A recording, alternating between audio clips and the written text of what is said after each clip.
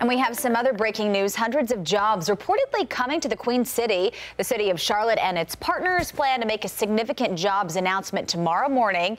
This week, state lawmakers approved legislation to sweeten the incentives North Carolina offers to attract businesses. Yeah, this is great news, especially after PayPal and Deutsche Bank canceled their Charlotte expansion plans because of the so-called bathroom bill. NBC Charlotte's Kendall Morris joins us live. And Kendall, what do we know about this announcement? Well, state lawmakers say that a New Jersey based company is expected to announce it is moving its headquarters to Charlotte. The News and Observer in Raleigh is reporting that company is Honeywell, though the company tells us it does not comment on rumors. Honeywell is a Fortune 100 company that invents and manufactures technologies for things like aircrafts, homes, and buildings. The company is expected to bring 750 high paying executive jobs to Charlotte.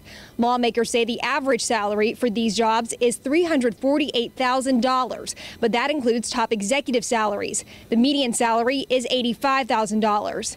Now, the state General Assembly paved the way for this move this week, quickly passing legislation to more than double the cap on annual awards to businesses through the Job Development Investment Grant Program. That program gives the company a rebate of a percentage of its payroll taxes for the new jobs it creates. The proposal raises the maximum rebate per job from $6,500 to $16,000. What this allows us to do is to compete for high wage relocations like corporate headquarters. Right now, we're not in the running.